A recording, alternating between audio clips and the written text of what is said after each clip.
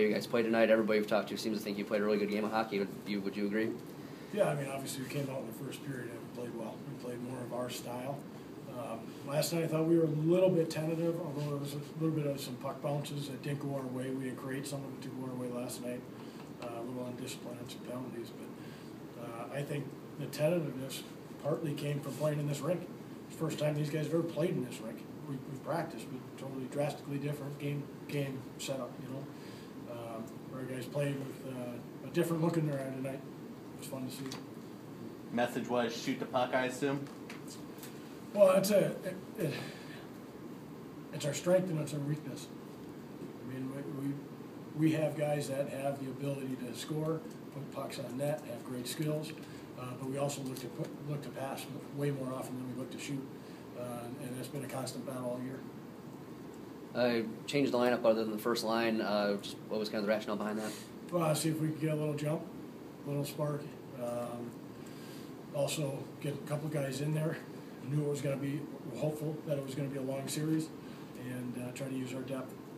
That uh, play Gedig made to, to uh, the Dzingel down the middle, uh, kind of walk us through that. And uh, I mean, it just really seemed like an excellent pass there, well timed pass there to the Dzingel streaking down Well, the like I ice. said, it was an individual play by Gedig. Made a great, great read, great pass, uh, and then Dzingel be able to pick it up in stride. I think he caught it on his backhand, um, and then a great shot for him. A lot of times he doesn't like to shoot, uh, and we keep on telling him if he shoots, good things happen for him. Even there, even on that situation, a lot of times he'll go and make a move or deke, or um, but he's got a heck of a, heck of a snapshot.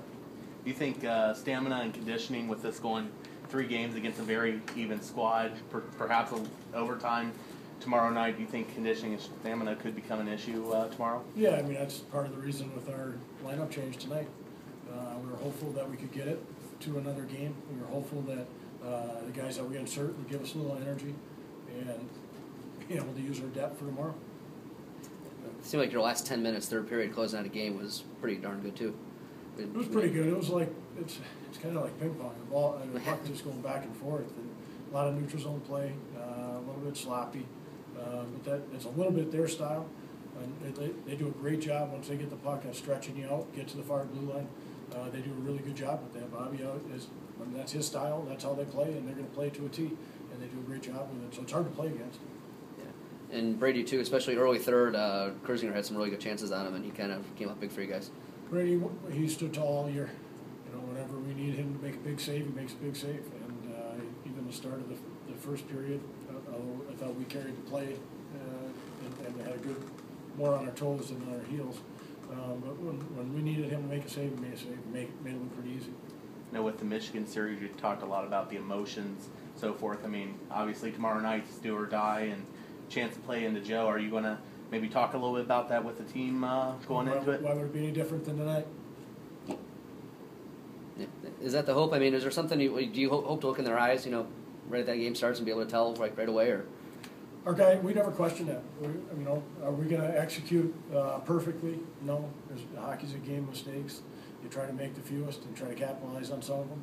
Uh, but we never question how the guys are going to come and be prepared to compete. Uh, that we've never had that issue. Um, it, we may not execute the best um, or be missing one step here and there. Just that's just the nature of the game. But the way our guys compete and prepare themselves, we'll have that look tomorrow. Thank you. Thanks, guys. thank you.